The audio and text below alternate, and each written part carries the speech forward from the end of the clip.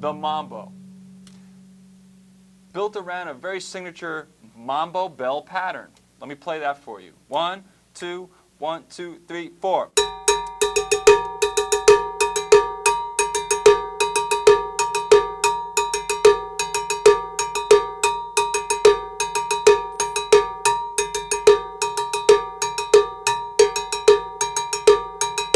Over and over and over, and you'll notice different sounds that you can get with an open and a closed.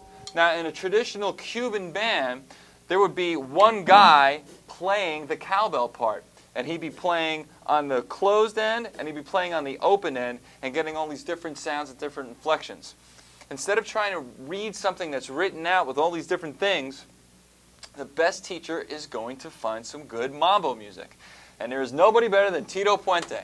So go get some Tito Puente records and listen to how those percussionists play those parts get that in your ear, sit down behind your drum set, and try to do it yourself.